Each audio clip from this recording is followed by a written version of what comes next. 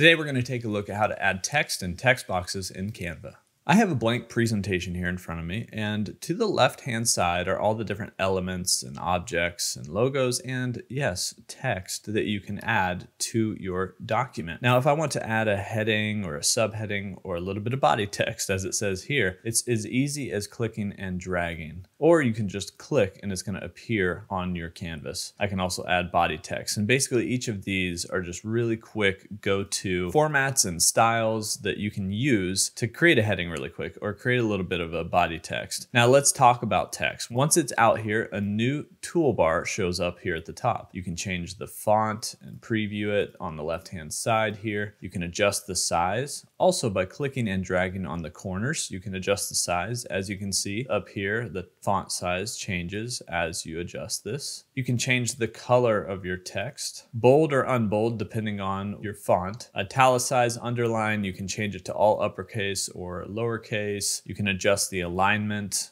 add bullet points or create a list. You can adjust the spacing. This header doesn't have any extra lines in it, so there's no real spacing to adjust there. And then effects and animate. Now, when you have body text selected, and you're adding text out here. This text can wrap within this text box. By hovering over on the side here and pulling it in or out will allow this text box to wrap around a certain point. However you size that, then you can scale it up and down with the corners, but basically increase where it wraps or how skinny your text box is by using the side panels here and just clicking and dragging. And you'll notice here we can actually change the alignment, whether it's left aligned or center aligned, right aligned. And then you'll see here we can can change the letter spacing of our font, but also the line spacing as well. How far apart are each of these lines from each other? And you can also adjust where the anchor point is. So where are you scaling from? This one goes top down. This one's from the center out. So you'll notice the lines both grow up and down toward the center of the text, or you can go from the bottom up depending on how you have your text aligned. So if I had it here down in the corner, it might make more sense for me to adjust the spacing from the bottom up than it would from the top down. Another cool thing that Canva has are a bunch of free styles and also pro styles. If you have Canva Pro, you can try it for free in the link in the description, but all you have to do is click on one of these and bring it out here and these styles show up and you can edit the font just like that. And you have all these different elements and effects within this that you can adjust. So if you'd like to adjust some of the effects, like add some effects to the heading here, you can add a shadow just really quick and there's lots of different different parameters that you can adjust on this. You can splice it. You can do a lot of different things, even curve it here. I'll probably do a video just on that because I know a lot of people ask about that one right there. So you can see that you can really quickly spice up your font, add text boxes, and do a lot of things here in Canva. You can also start with a template. So if you wanted to just start with one of these templates and pull them out here, you can do that. I could add it as a new page. And then I can go from here and completely edit this to look the way that I want it to look and adjust all the text in my document and add more text boxes if I need them.